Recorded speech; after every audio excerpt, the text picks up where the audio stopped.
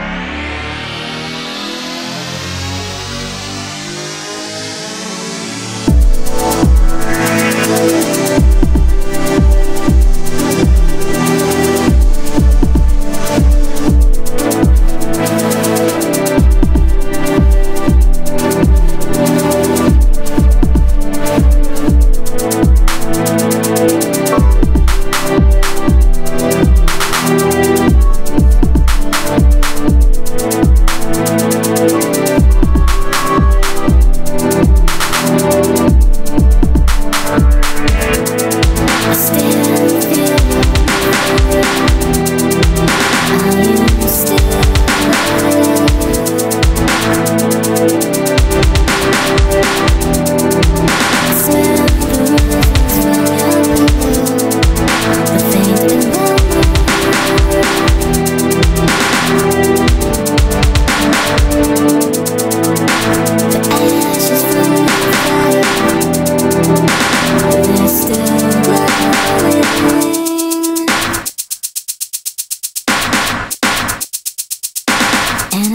think I found the answer to where we're going.